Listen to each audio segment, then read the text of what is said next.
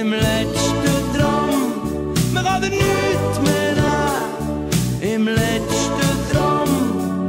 Sie verliert einen extrem sensiblen Menschen, einen wahnsinnig guten Texter, Musiker, Komponist, einen Sprücheklopfer, einen lustigen Typ, einen guten Kumpel.